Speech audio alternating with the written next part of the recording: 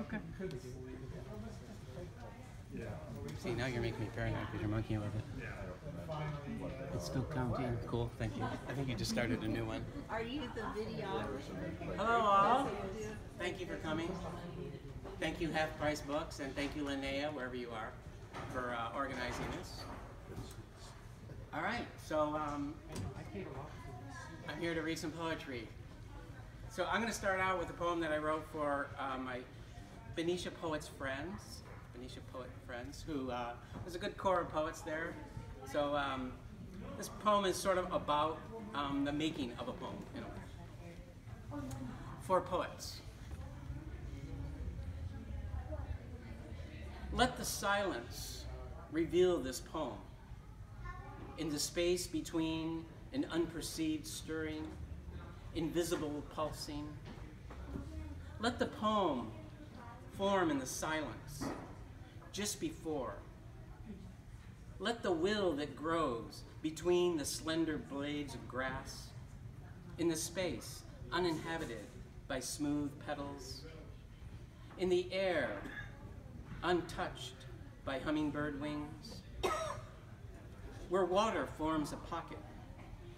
Let the poem arise, seconds before breath, move toward the word, into the shadows peer, to darkness leap. I saw the osprey pluck a salmon from the turbulent waters. That is what we do here. So the next poem I'm going to read is um, called Tomas, and it's about a, um, a trip that Monique and I, my wife Monique and I, took to um, Tijuana.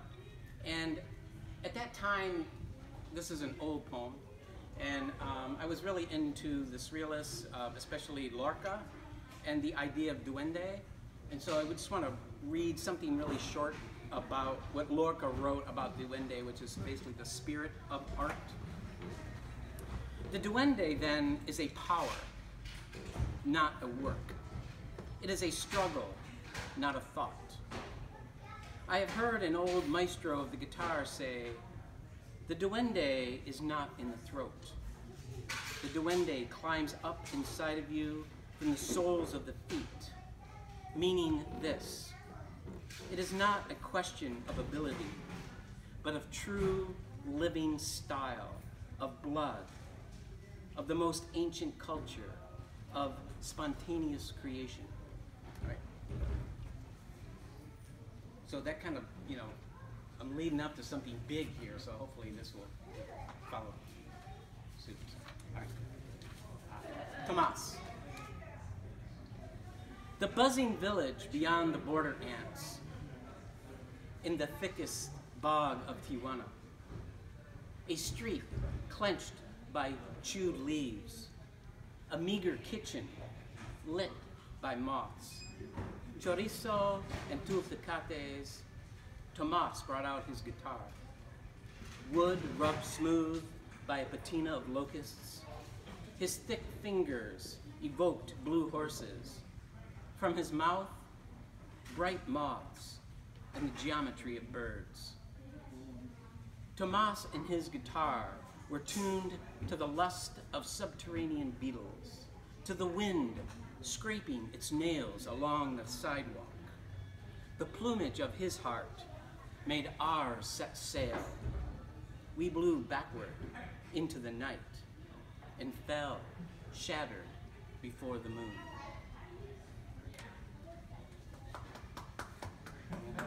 Thank you, Ken. Um, I'm going to read a couple of music poem, So that was the first one.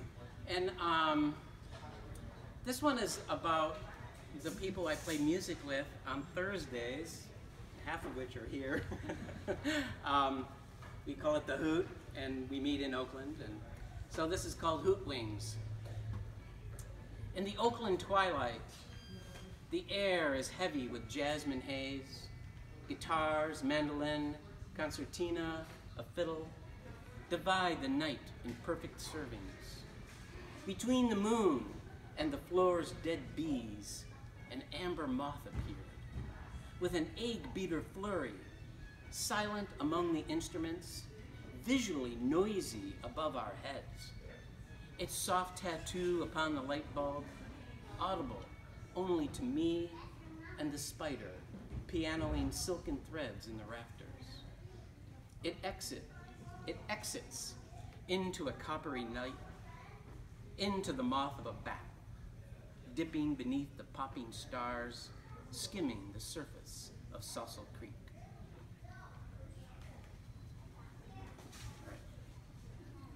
This one is um, about my beautiful wife and her mandolin play. Monique's beautiful birds. Monique has the ear of a mockingbird, a reverence played with dulcet trills, diphthong throttles, and a swallowtail susurrus. Love makes her strings sing, so that all the birds in the neighborhood stop to listen, their wee hearts bursting with delight. She doesn't even realize it, but continues to gather beautiful birds. Even know about that poem. All right. Now I'm going to read from ah, the missing book. Um, a year ago, I ran a marathon, which is 26.2 miles. And um, it was the first time I had done an organized marathon in many years. And I had this idea, you know, one of the many great ideas you have but maybe not follow through with, um, was to, I thought, wow, 26, you know, in my mind bleary state of running many miles, thinking, wow, wouldn't it be great to write 26.2 poems about running? And so finally, when I completed the marathon a month, uh, a year ago, I was inspired, and so I finally finished it. So. And I'm running one in four days because I can't get enough. So there it is. All right. So um, the first running poem I'm going to read is called Pheidippides. Hello. Few runners think of Pheidippides, our seminal soldier marathoner, who in 490 BCE, after fighting in battle, ran from marathons to Athens in skinny sandals, proclaimed Nike's victory, only to collapse into death without a single sip of Gatorade. Why should we think of Pheidippides? We don't run a marathon as a swan song before we slip into the cool gray grave. But he is my hero. He did it. No t-shirt, no corporate sponsor. He crossed the land, fueled by valor, by the blushing pride of victory, and an unabashed sense of purpose. All right. So, um, because I was doing this crazy thing like running several miles, I wondered like why do I do this? And why do human beings do this? Like where does this come from? So so I did some research and and ended up with this poem called Persistence Hunting. Of all primates, only humans run can run long distances. Even chimpanzees, our closest ancestor, can barely run 100 meters. It is believed that endurance running emerged about 2 million years ago. While most people think that running a marathon is extraordinary, if somewhat crazy, it was the early humans that developed this skill through persistence hunting. Lacking a weapon more deadly than an untipped, sharpened spear, having no stone arrowheads, hunters would chase an animal for several hours or for even more than a day at times until it collapsed. A galloping quadruped can only breathe once for each stride, like a locomotive bellows. As bipeds, we can breathe independently of our stride. Though not as swift, we can vary our running speed, forcing larger animals to overheat and be overtaken by our skinny, stick-bearing ancestors. So began the tradition of the post-marathon meat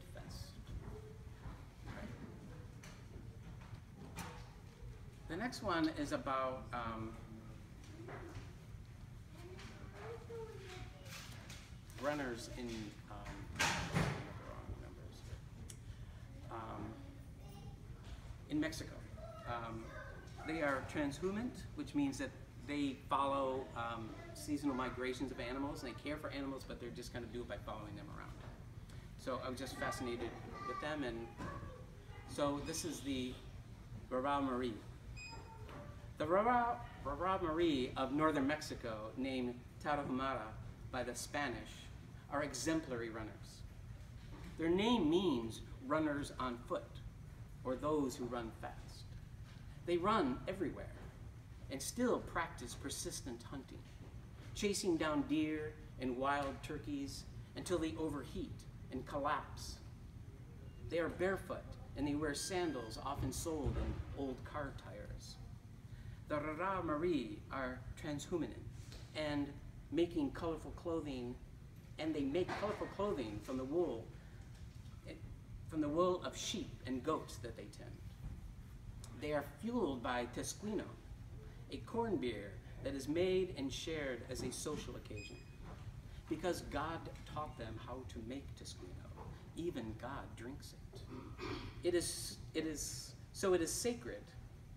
It is thought that the Tesquino chases out the large souls within, leaving only little souls, so that they are free to act like children. That is why they run everywhere they go. All right. Speaking of running everywhere you go. As a boy, I ran everywhere. As a boy, I ran everywhere around the corner, over fences, down dog snapping alleys, kicking over metal garbage cans, sprinting to the next block, jumping off porches, speeding over hedges, after ringing the doorbells of grumpy old neighbors. Tag always. In the red face sweating, mosquito slapping dusk, more frenzied running as streetlights flickered on and sticky wet calling from humid cinder porches, a musical, come in now, bleats in the dusk. Bolting to the dark end of the street, pretend not to hear. Then surrender to our houses, yellow light leaking onto lawns, black and white television in the corner, colonial furniture, cat fur carpet, shortbread and milk. Then sink into the bath, pretending to snorkel, turning the knob, broiling my ankles, hot water, running.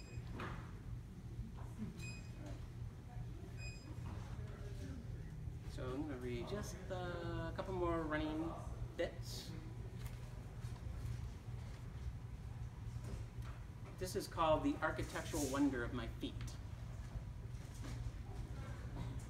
You may boast of the beauty of the Taj Mahal or be struck dumb by the great pyramids of Giza, with pharaohs performing machinations of dream time with Osiris, be tickled by the swaying Millennium Bridge in London, with or without the Death Eaters. Express wonderment for the verdant Agora Gardens in Taipei with its luscious architecture, but I'm in love with the architecture of my feet.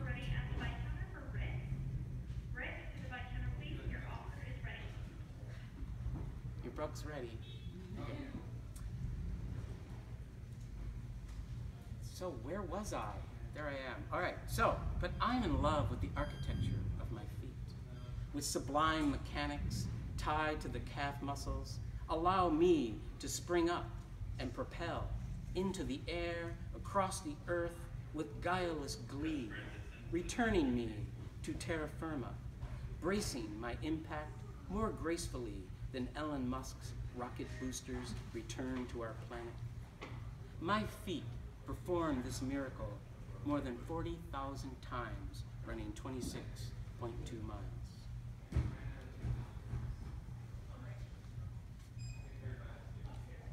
So this next poem, for some reason, no matter who I gave this book to, whatever the age they were, would say, nice ass. So that's the name of this poem, nice ass.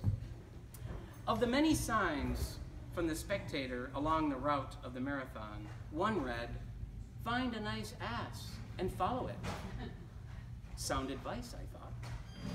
Whether in an earlier stage of human evolution, or still walking this side of the turf, few things are more primal than watching an attractive ass move along the earth. Perhaps it helped us focus during persistent hunting. For lack of earbuds, it provides motivation. Developing big gluteal muscles came hand in hand with endurance running. The better we ran, the better butts we got.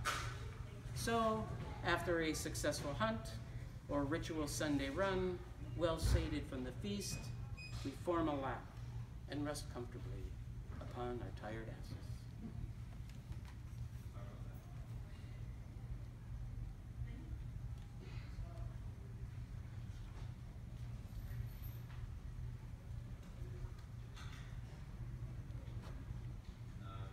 So I grew up in um, Detroit, in Warren, right, right near the border. If you're an Eminem fan and saw that uh, movie Eight Mile, um, I grew up close to there. So we used to run below Eight Mile, which means you go into Detroit. So running among the dead. In high school, our cross country team, there was never more than 10 of us, ran into Detroit along Outer Drive, and into Mount Olivet Cemetery. Low rolling hills, clipped green lawns, the blush of unabashed youth running among the dead. A hundred years of interred bodies. Some days we'd lope past a huddle of mourners, weeping, murmuring under heavy gray skies. Once, while veering off the careening blacktop, we came upon a fresh grave a vapor of peat and earthworms rising to meet us. A robin eyed us from a headstone, worm in its beak, blinking. Then a scraping caw, a crow burst in and stole the worm. We stood silent, then shook ourselves, fell into a canter, nothing but our breaths and gentle footsteps. This next poem um, is for uh, a very good friend. Somebody I've known for, I knew for 40 years, and was tragically killed. So I'm going to read a couple of poems about that. And this is the last running poem. So it's called The Run for Chris. The Run, lungs stinging, thighs singing, a light patchy green, and bright, appears to always grow, revealing more as we go. But some stop or are taken from the course unexpectedly. We miss the sound of their breath, the rhythmic footfall we know so well, still moves us. So I'm going to change course and read a Hildegard poem. And um, this poem is called Fisherwoman Cloistered, and it's about the um,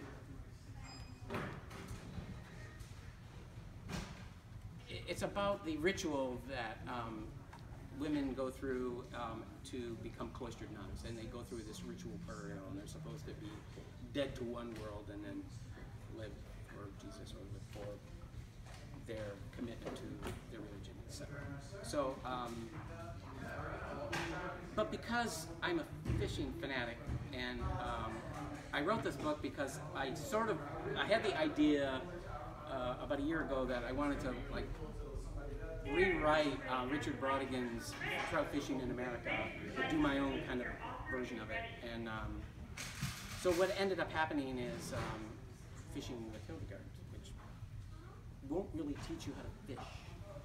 But um, what happens in this poem is that I'm using the idea of this ritual and then um, using Hildegard, who is an avid fisherman in my world, um, uses that in her own way. So there you have it. Fisherwoman cloistered. In my shadow-sized depression into clay, I descend, supine, eyes to the void, to the constellations, to the quiet lizard licking inside my soul. Heart, magnetic north, a small bloom of light in the gloaming of a life now buried. Earth and clods weighed upon my breast, dead to one world, this grave a portal. In the hushed cell, the soil speaks the very first language. Armadillidium vulgare, or pillbug, makes a rolling passage in the damp earth. Jerusalem crickets, the Navajo call skull insect, beat a rhythmic mating drum that they cannot hear, but feel in their legs the way I feel in this ritual burial. Earthworms accordion their viscous beams through my fingers, born from the viridity of grasses. Their heat pulses through my fingers. Cold clay imprints my knuckles.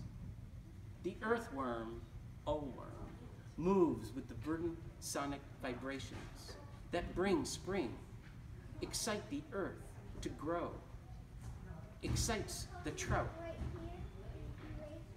once I lance it upon my hook, the all worm will talk to the trout in its mesmerizing dance, so that the trout must ingest the worm to pass on the pulsing spirit of spring. Then I will hook the trout, absorb the electric green energy of the worm, of the trout.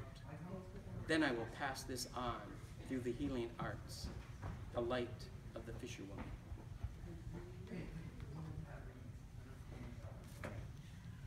So I'm going to read a couple more poems about my good friend who I lost last year. Uh, this is called Timbre. There's a chair missing, a cloud out of place, one less bird in the evening chorus, a bare rectangle where once stood a portrait there's an extra place setting that we want to fill. The timbre of a wine glass not clinked.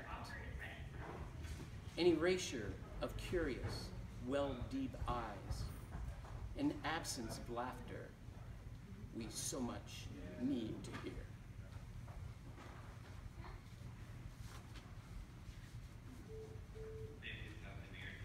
So this poem is about um, I met Chris in Detroit. We were both mechanical draftsmen working for the auto industry, and uh, we became instant friends.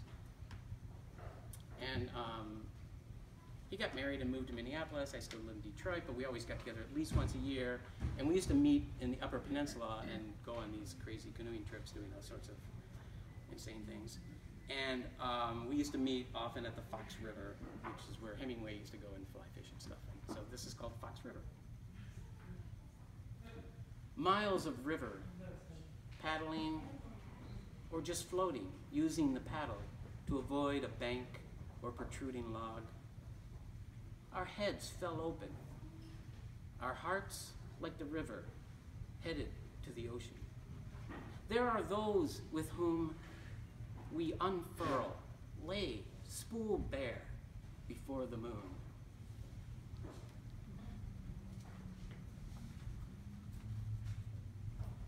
This is about the evening that he passed in the hospital, called Wings. Thousands of pairs of wings came fanning voluptuously through the sterile tiles tiles of the hospital. What remained in the bed remained. But the other part rose in a locust lullaby of light toward the summer stars. Those of us around the bed dispersed down the hall, out the door, into some kind of night we had not imagined.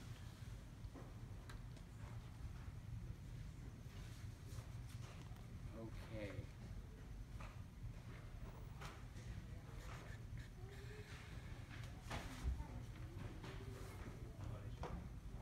Now for some resistance poetry.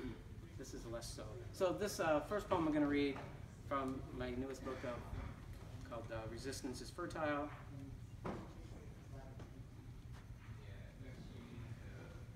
Is um, called Crow Smart. And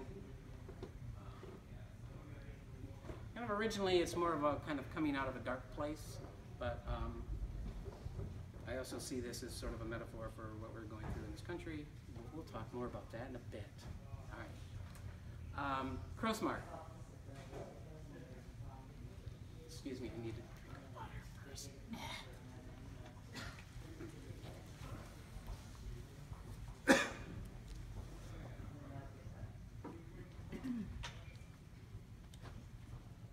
Crow Smart. A murder of crows infiltrated my brain. Not my thoughts, I mean, really, in my head. Cawing away to each other in a savage fever pitch. Only when they flap their wings do I get relief. A small clearing in a tangle of woods.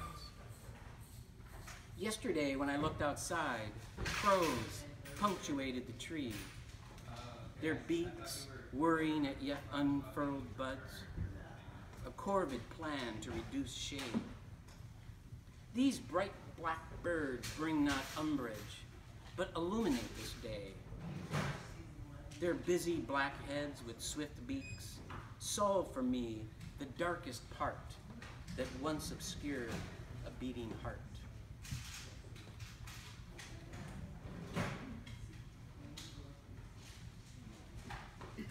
So I'll talk a little bit more about um, Hildegard in a bit, but um, Hildegard wrote a lot about different creatures and talked about them in terms of how they are good for healing, what kind of energies they have, etc. So I originally wrote this poem called Lamprey about, or as a Hildegard poem, but it became so nasty that it became a resistance poem instead. So there it is, Lamprey. Chiefly a type of serpent who sucks the life from the weak. Well, appearing fish-like, in its soul, a lamprey is serpentine. It is divisive and antagonistic by nature. Its only creative outlet is lying, as prolifically as a mockingbird imitates, often found seething in the middle of the night. The male is corrosive and detrimental to the female. It is only by violence that the species procreates. In many parts of the world, it is considered an invasive creature, and quite often a great effort is made to prevent its influence. For the sake of life, this lamprey must be impugned. All right. So, you know, um, the other day a friend of mine started a conversation by, you know, you won't be surprised what he who shall not be named said, or something like that. And I knew exactly what they were talking about, that I shouldn't be surprised. But at that very second, it occurred to me that we must stay surprised, please. That we must stay freshly horrified at what is going on in this country. And that resistance is survival, and that if we think this is normal, then we are fucked. We get consumed, excuse me, book story. Um, but that we, you know, we get assumed by fascism and it will take root. So we must always be surprised and always question. All right? So there. All right. So that's that part. Swamp. To say that you will drain the swamp is a flaccid threat. I know what can come from a swamp life. Frogs pulse and bellow in the mossy caverns of trees and brambles. Rotting logs give way to exploding clouds of insects. The unabashed sex of flowers swell and sway in the intoxicating twilight. Pollen laden bees hover in the electric light, while cicadas rev their motors in a deafening auditorium. The gases here bubble to the surface, sublime, divine. Not the gas that comes from your rotting, avaricious brain. We will not permit you to drain this swamp. You will not impede upon the fertility that we possess. We are the swamp. We are the fecundity of life, art, and a world that requires an array to survive, thrive, and dance upon this perfumed bog. We dance to a music you can't imagine. We carve images in genuflection to the teeming marsh. It travels in us. We are nourished by all that surrounds us. Your vile creatures cannot touch this swamp. You cannot drain what you do not understand. We will continue to grow, to prosper. You are the ephemera. Your end is near.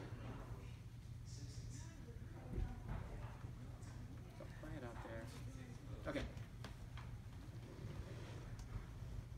I tend to take the long view and believe that all this social and political crisis will be resolved. And um, I wrote this poem for our, our daughter two years ago. Probably know what day that was that I'm referring to. Okay. So, we are the vessels. The sun did actually rise this morning, despite the fearful reports to the contrary. the universe and this country will still be fed from its nurturing rays.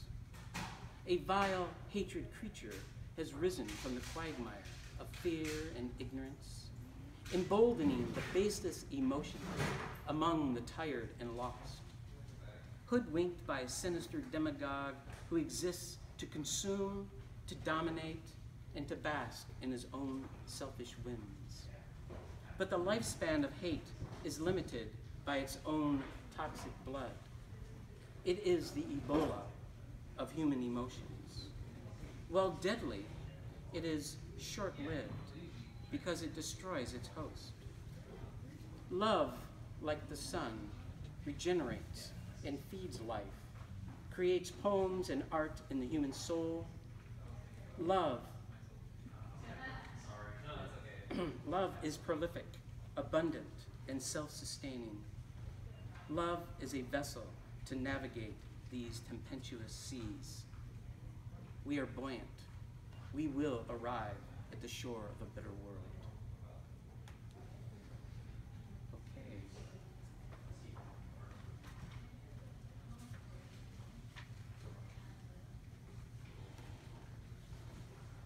Proof. All we need is proof that the ship is not sinking. The quick and bright are fellow passengers, not cargo to be jettisoned at the hint of a squall. We began with bright images shining from Lascaux, a flame we carry in the center, a burning seminal vision to warm us this vessel's passage. So um, I'm going to follow that with, um, I'm working on this longer poem, of which three of the four pieces are done. I, I, I think it's, it's sort of a, um, an invocation to me. And um, so what I did was I, I'm writing about the four elements. And so this poem I just read, and I referred to the cave in Lascaux, I, I'm just kind of searching for a, a source in which people have a commonality, in which we can all speak to each other. And um, so I'm going to read from this, uh, the earth part. So um, this poem called Earth, one of one part called Earth, um, is meant to be um, from the viewpoint of somebody witnessing kind of a shaman ritual in caves at the time that happened, early humans. So there it is.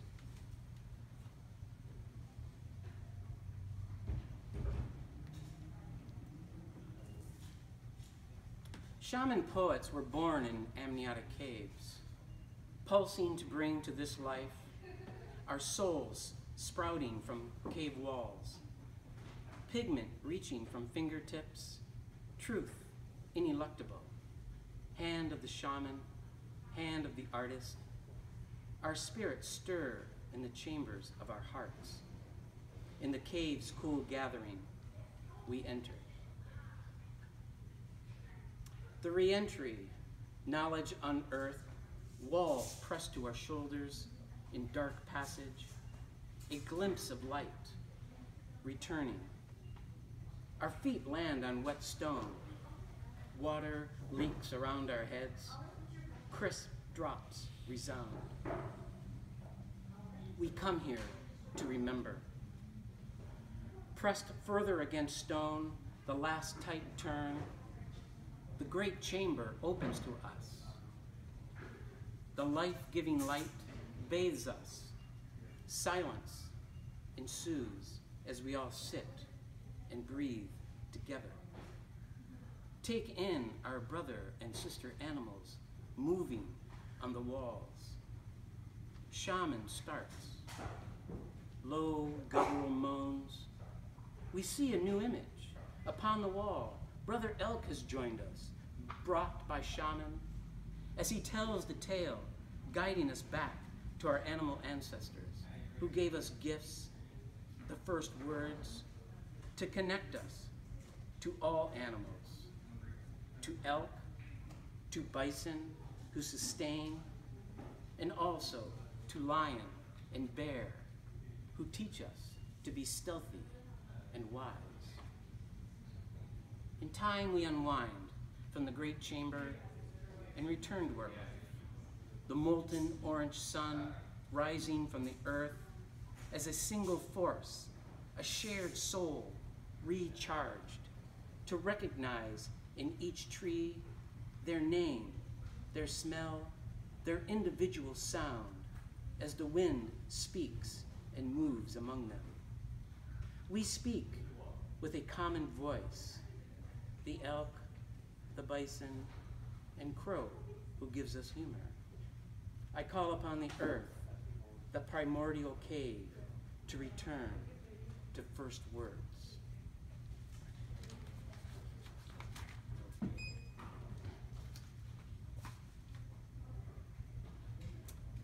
Um,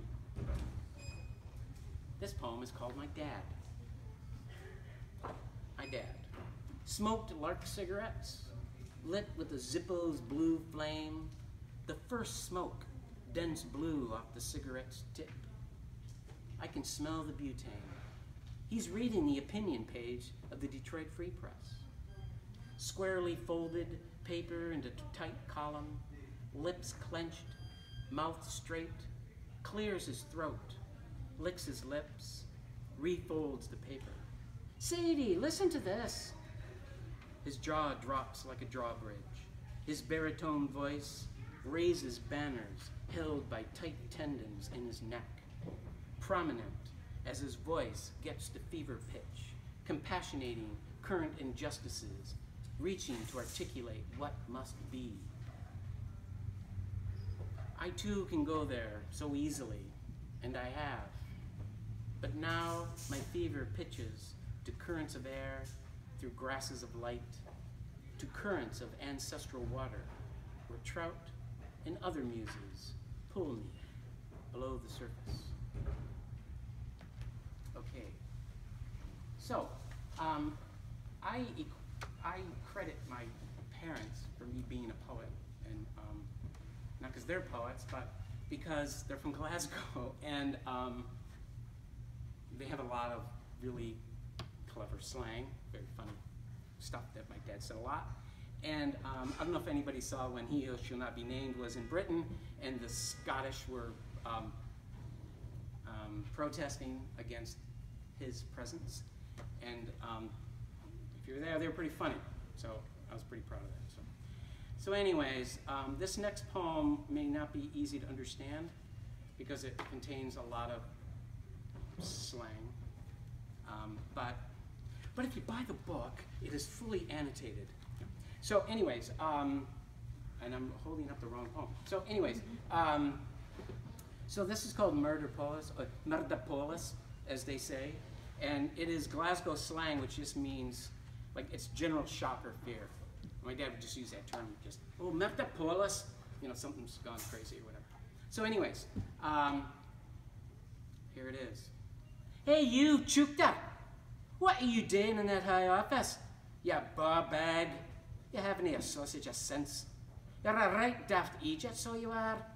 You know, wee monkey kens more about the workings of a government, heed and shoulds above your own daft self. You're just a wee doing a jobby in your knickers. You've got wee hands, hair like straw hanging out a midden. Wee flyboy from Airplane Street, as deep and dirty as the Clyde. You couldn't run a menage. You and all your friends getting all the big contracts to, breaking down the very things that make this such a great country. We're nae daft, you big tumshy. Do you think our heads are button up the back? We're all. All they poor weans you sticking into cages, cause you can't see any colour except white. Ye and all your vile racist friends driving a wedge between all the people of this land, blowing your vile tweets, blowing away the laws, blowing a smokescreen to blind your daft followers who, who run after you like a bunch of poor wee lemmings, left without a school to send their weans to, a federal debt bigger than your Egypt's idea of a space force. The poor people of Flint can't have a wee drink of water. The poor people of Puerto Rico haven't a tooty scone of electricity. And the worst of it is all these evil, racist dafties gain room with their white hoods and swastikas, caning that it's all right to do their vile deeds. I'm talking to you, big eat the breed. Your snottery excuse for a man. You're a tea-boy for Putin. Oh, we've had enough of you. Just you wait and see. When all's said and done, you'll be greeting for your ma.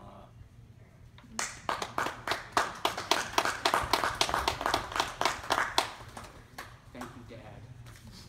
Okay. And now for something completely different. All right, so I'm going to read some of my fave um, recent times. um, so I have this fascination with Hildegard since as long as I can remember. Um, I mean, first I just thought she was a 12th century composer, you know, recording these absolutely incredible, beautiful pieces. But um, she was many things. Um, she was a, a, visionary, she was a mystic, um, she was a healer, um, she was a physician, she um, healed people both um, psychically, psychologically, as well as physically, and she wrote and was a just completely attuned to nature. And um, she wrote about everything from rocks to weeds to animals to birds to you name it. So, um, so the first poem I'm going to read is called No Birds. And for me, it's kind of equates, she was a poet as well, but I also feel that this is sort of a, a book about, or a poem about um, a poet, in a sense. No birds. At a very young age, Hildegard saw things mighty, fantastic, terrible, beautiful, mystifying. She heard the songs of birds or angels, songs that lit up the orchard with no birds present. A glimpse of the green man or wood sprite must have seemed normal. Young poets can see sounds, taste color, horripilate in the ecstatic presence of nature. She once described with complete accuracy the spotted markings of an unborn mare, to the astonishment of her parents, who looked upon their daughter with different eyes. Once it foaled, they too could see the man. The kaleidoscope of senses received by Hildegard terrified her. When she learned that no one else saw them, heard them, or felt them, she tucked them away, as a young poet might do, feeling like an albatross among weary sailors in a dead calm. so, um, The next poem is called The Green Man. From my first wander into the woods, I knew there was a green man. Where light flickers through leaves, ferns nod and fan along a brook's trickle. When glimpsed, he turns sideways, disappears. A hummingbird plucks a sultry to cover his stealthy escape. Within a frog throttle, he winks into coarse, papery grass. Narcissus flowers bow as the green man passes. I cast my line, and a caddisfly curls like a lover's tongue.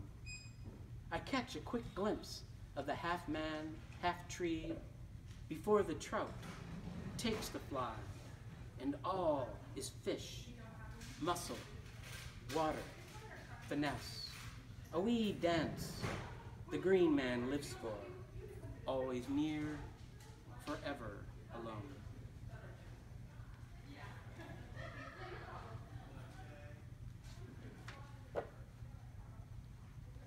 So this next poem is called The Resurrection of the Earthworm. And um, this is about a fishing technique where you cover up a worm with clay and you throw it in the water. And then the splash scares away the trout, but, but um, after a while, um, things calm, and then the mud drifts away, and the worm comes out, and then the fish go in and get the worm. But it's about more than that, too. Resurrection of the earthworm. Per Hildegard's, per Hildegard's instruction, I lanced the earthworm efficiently, but gingerly enough to keep her alive. Take, take fresh clay, take fresh river clay, create an angler's sepulcher, pressed to my palm, gently cast with a loping toss to keep the worm entombed.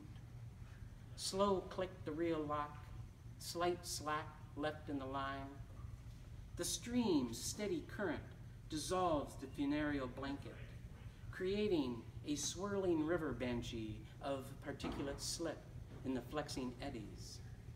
The emerging, twisting worm sings to a passing trout, who strikes with ancient instinct, pulls the writhing life to itself. I follow with ancestral reflex and draw towards me a fresh pulse. Take into my heart this quick life. All right. So more fishing. All right, I'm going to read a series of haiku. And I do not follow the rule of 575 because kanji and English don't have any true relationship in terms of symbols. I know people get weird about that or whatever, but I don't, as you will notice. All right, Carmen Lake haiku. I eat the red meat of three quarters of a brook trout. The tules bow. Steel clouds move in from the north and east. I might get rained on. In the metal blue night, yellow lies, yellow eyes in my flashlight's beam, a deer sips the lake edge. This black sulfurous mud is alive. I hear it breathing, waiting for me. A tiny blue butterfly lands on my throat bloated, my throat bloated belly. Say that five times. A yellow hooded blackbird wail in the oppressive heat. Clouds over the mountain lake come toward me, giant mollusks. The first fish caught with my new rod fights heroically.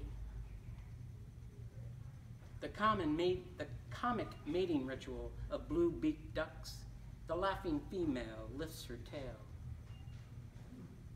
The fish I thank for feeding my family bites a hole in my fish bag.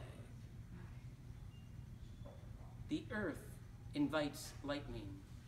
The trout rise. I consider fishing. A trout in the shadow erupts. Rattled geese flee. The storm is here. Nowhere to go but in the tent to read Blake. I'm going to get drunk. The tempest screams in every corner. I can't fish. The longest roll of thunder I have ever heard. Still, the birds chirp. Burning sagewood, sagewood at the campfire, a thousand prayers to the sky. Descending the mountain, muscles singing, pain's delight. I miss my family. Okay. This is about trying to watch shooting stars and then something else happens. Ear to the viscous highway. He was lying in the damp ground, looking up at the stars, hoping to eye a meteor. The Quadrantids were in proximity. 95 meteors an hour were expected. The garden was making a sucking music, like 900 snails fucking. He considered the life of a banana slug, like driving a car in perpetual slow motion, beautifully hydroplaning on your own saliva. You are the car, and your tires are tongues. You get to lick every detail. Your antenna describe the wind. The only radio station you get is the sound of decaying leaves. To a banana slug, this is Beethoven. He didn't see a meteor, but the glistening tracks of the slug trails formed a delicate crystal lid, crystal web, reflecting starlight and slowly streaked across the garden.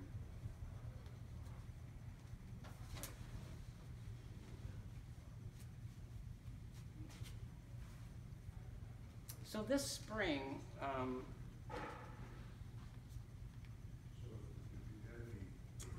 a hummingbird built a nest on my back porch, hanging from a string of bells that Monique got in Thailand. Like, top bell literally was like that big around, and it was probably like a foot and a half from the top of my inside of my porch. And we realized that this hummingbird built a nest up there. Um, anyways, I um, I'd never seen a baby hummingbird before, and I was trying to. I mean, I was refused to go up there. I didn't want to disturb it, but I'm thinking, how big are? I mean, how big are they? Like mosquitoes? I mean, you hummingbirds are so small. Apparently, I'm wrong about that. They're like an inch when they get born. But, anyways, I got to observe the first flight of a hummingbird, and it was just lovely. Hummingbird's first flight. Its sharp black needle beak tipped cloudward, thumb, thumb-sized, shuttered feathers to appear more like a cloud. It flexed, fledged, and the wing motors started. Lifted, a new helicopter, a fat bumblebee, moving gaslight, slow nudging a string of beads a hesitant grip, then, air, then airborne again. I feel that way in my dreams. My forearms and hands keep me afloat. I clutch a branch just enough to launch again. Each rise more steady until leap becomes flight.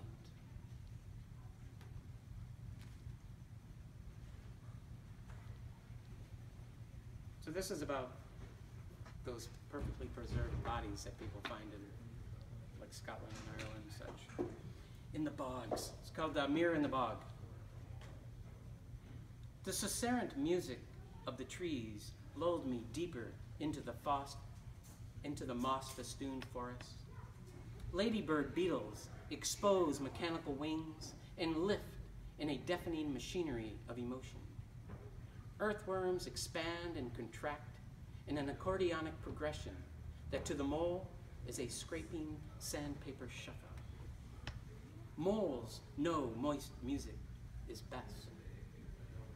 Avoiding potato bugs is a chess game performed in the dark. Salamanders imitate leaves, and serpentine slither soundlessly through a moss tumble of stones. In the bog, perfectly intact bodies trick time smirk through an ancient mirror. We pass brief, briefly above, lightly, ever looking forward, occasionally snap a selfie by the cypress at twilight.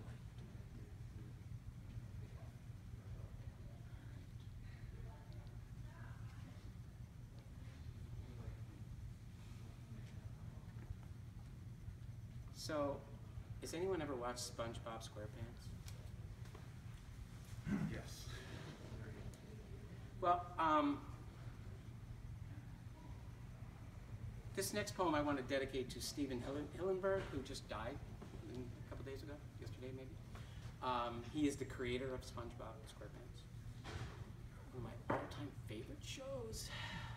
Anyways, um, I also make fish. I make ceramic fish, and um, I made this fish that I learned is called a sarcastic fringe head. And when I looked at it, I thought, oh my God, this is where he got the idea of when we see those fish like they're standing or walking around and they have these like big fat kind of lips folded on the side. Um, that's a sarcastic fringe head. But they're not what you think they are. All right, here it is. The sarcastic fringe head has a mirthful mouth of a peculiar clown, eyes of a scientist, and the dress of a jester. It is bristly by nature and will strike Jurassically if you violate its personal space. It is not suited as a spirit animal for those who jump in marrow deep to those Ilka and heart. But it wears motley so well, I am fooled that it prefers humor over horror. So just to explain, when you see this fish, it looks really innocuous. It's actually not that big, and they're right off the coast over here, actually.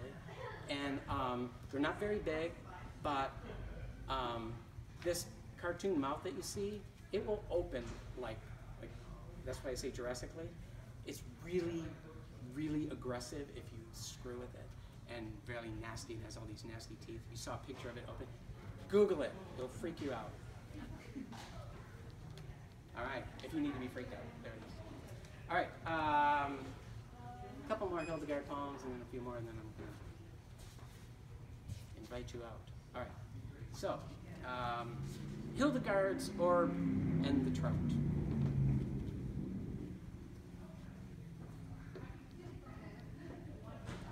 My first encounter with Hildegard was in a Michigan swamp.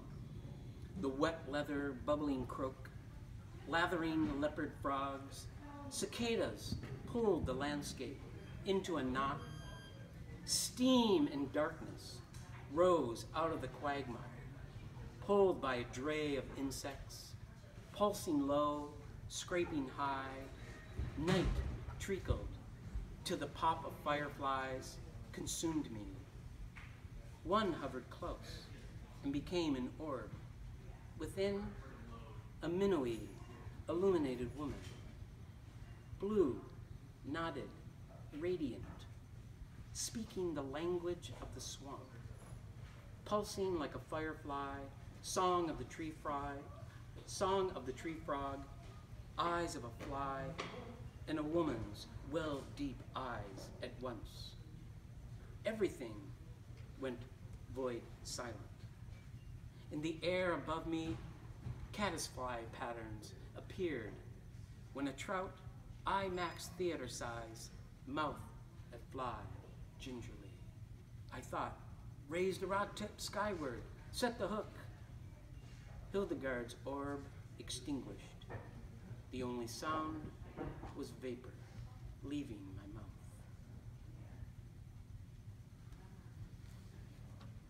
Okay.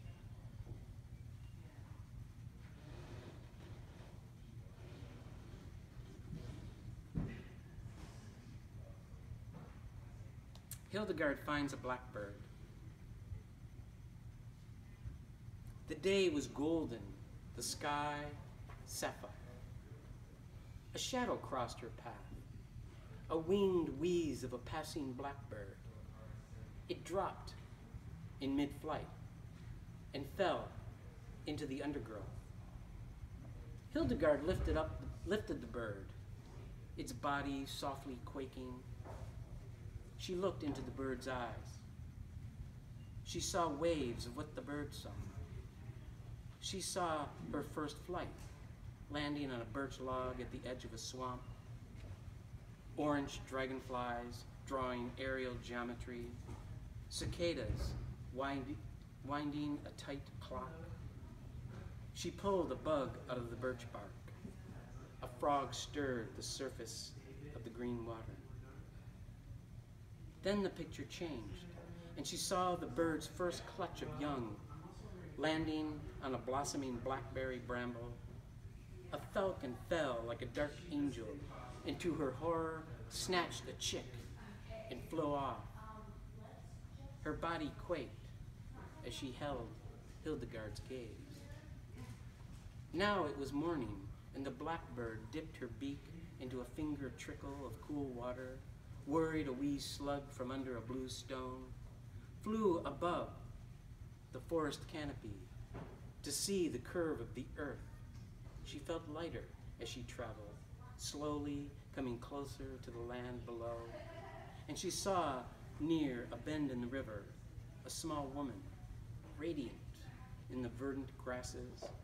She no longer knew how to fly and fell close to the woman who picked her up and now gently returning her to rich black earth.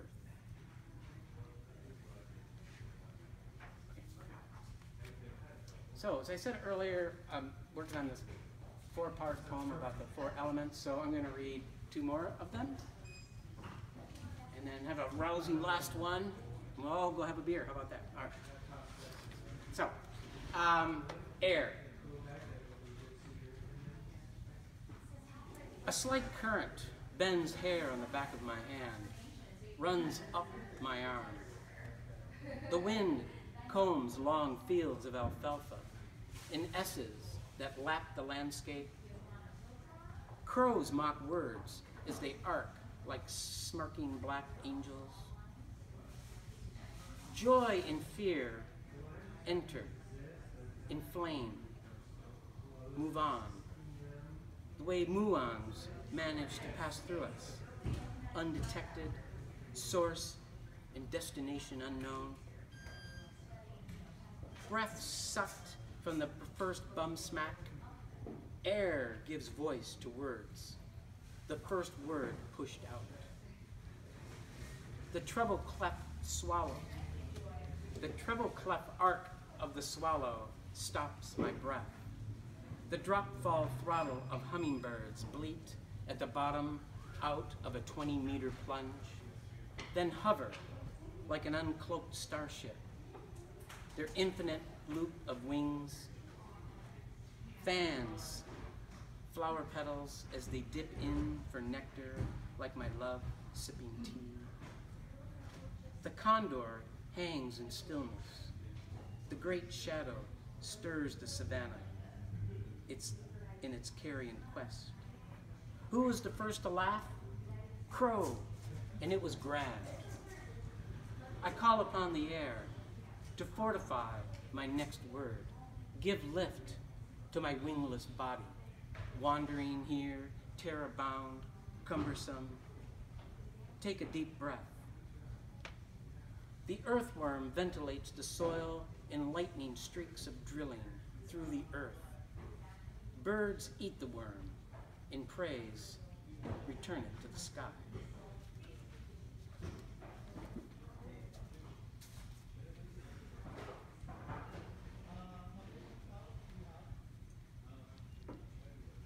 Water.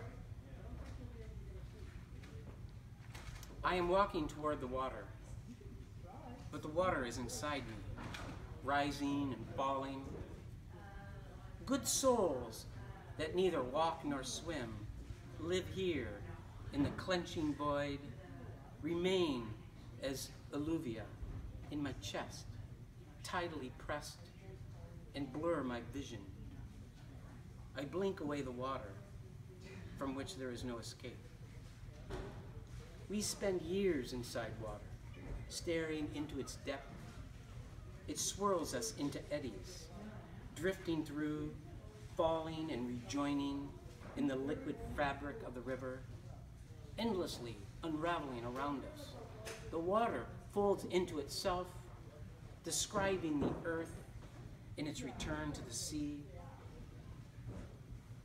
September salmon. An arc of red in the anteloping fever of touch, brush, and breath of union, meandering and magnetic. The river's course folding upon each body. The intimacy of a body deconstructing spawns each particle of light, day inflamed by red bone demarrowing. Salmon wears the ritual mask in a final fevered cut through the moon, a singular death, an effulgence of life. While the house falls apart, shingle by shingle, windows explode and meat falls off. Trees lean over the water, leaves bursting into flames, disintegrate to reopen the sky. I call upon the water to rise up, loosen from the choking mire our marooned vessel.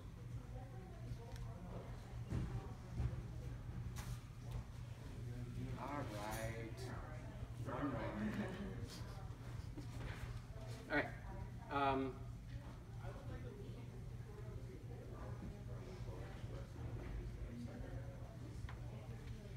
a toast.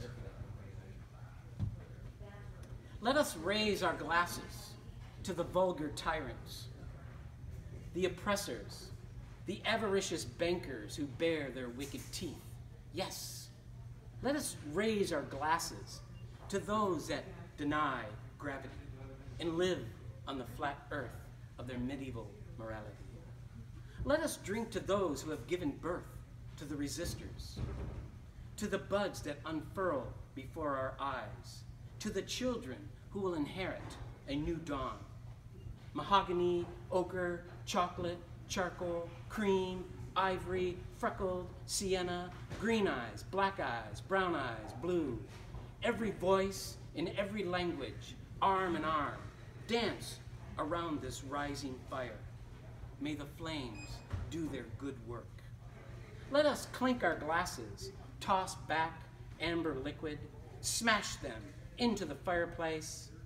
Let the glass explode into a million tiny shards that spreads in a new constellation across the night sky. Thank you all very much.